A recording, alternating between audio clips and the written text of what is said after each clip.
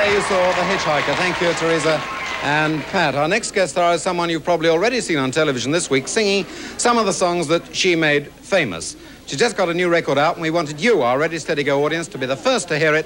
So here is Helen Shapiro.